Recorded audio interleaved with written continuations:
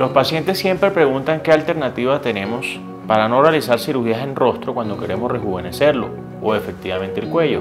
Entonces ofrecemos muchas alternativas en la parte de rejuvenecimiento facial sin necesidad de someterte a una cirugía,